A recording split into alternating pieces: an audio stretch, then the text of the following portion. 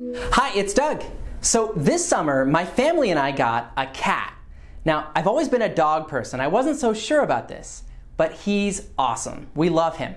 His name is Augie. We got him from a rescue shelter. One of the things that I found interesting is that just like there's different kinds of dogs, there's also different kinds of cats. The rescue shelter we got him from thinks he's a mix, part Siamese, part tabby cat. Well, someone named Nina has a question about a totally different kind of animal mix. Let's give her a call now. Hi, Doug. Hi, Nina. I have a question for you. Can a shark and a dolphin have babies? Ooh, that's an interesting question. What would we even call a shark dolphin mix? A shalfin? A dark? This is fun to think about. I mean, both of them live in the ocean. They even have some similarities in their body shapes. They both have fins. They both have these kind of snout like noses. And they're both such interesting creatures, too. It's fun to imagine what a shark dolphin would be like. Would it be playful and friendly like so many dolphins, but just with ferocious teeth? Since we're talking about this, it kind of makes you wonder about other animal combinations too. Like, could a dog and a cat have babies? And what would we call that? A cog or a dat? What about a giraffe and a kangaroo? A giraffaroo? A kangaraff? Could they have babies?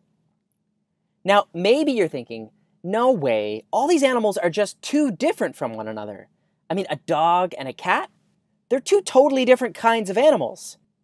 There's just no such thing as an animal that's part dog, part cat. But now, wait a second, because you might have seen or heard of dogs like this. This is a Labradoodle. It's part Labrador Retriever, part Poodle. Or this one, part Australian Shepherd, part Poodle. People call this an Aussie Poo. Retrievers, poodles, and Australian Shepherds are all different kinds of dogs. They look different from each other.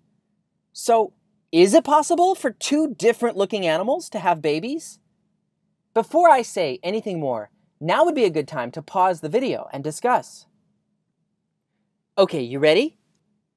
Well, even though two different kinds of dogs, like a bulldog or a Dalmatian, might look very different from each other, they're both dogs, and that's what really matters. This is something scientists have thought a lot about. When people talk about different kinds of animals, scientists have noticed that sometimes people mean different things when they use that word, kinds of animals. For example, Dalmatians, Labradors, and Poodles are all different kinds of dogs. But scientists call those varieties because they're all still kinds of dogs. It's like they're just different versions of dogs.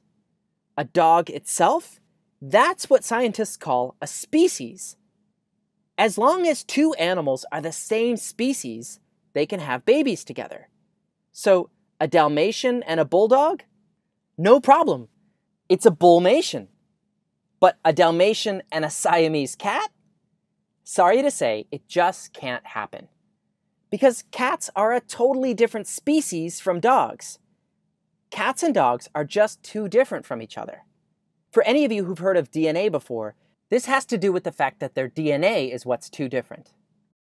So now, what about a shark and a dolphin? Well, even though they do have some things in common, when you look really closely, you start to see some big differences. Sharks have gills. They're able to breathe underwater. Most of them lay eggs. They have a lot in common with fish.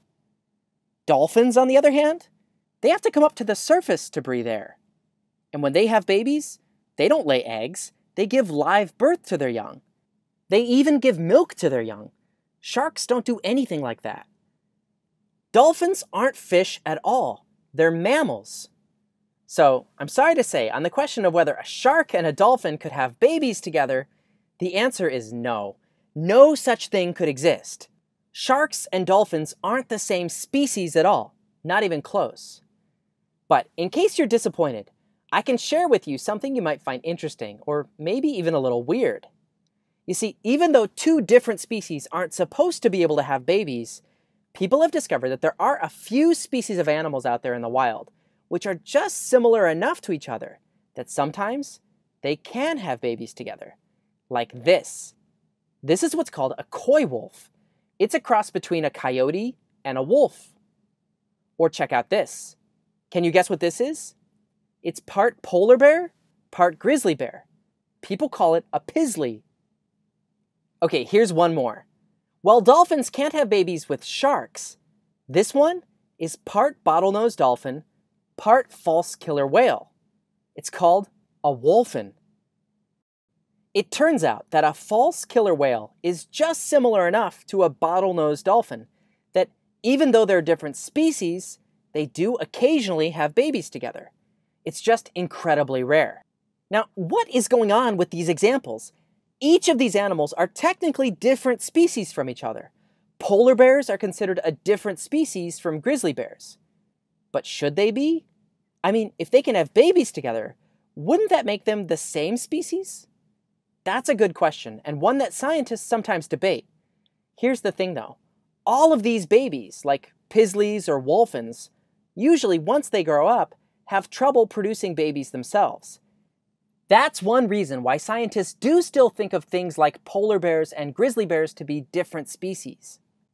So, in summary, if you want to know whether two different looking animals can have babies, usually you can tell just by finding out whether they're the same species. But there are some interesting exceptions to this. It's not always true. That's all for this week's question. Thanks, Nina, for asking it. Now, for the next episode, I reached into my question jar and picked out three questions sent in to us that I'm thinking about answering next. When this video is done playing, you'll get to vote on one. You can choose from Why do mosquitoes bite people? How does a cactus grow so tall? Or Has a shooting star ever landed on someone? And what is a shooting star? So submit your vote when the video is over. I want to hear from all of you watching. There are mysteries all around us.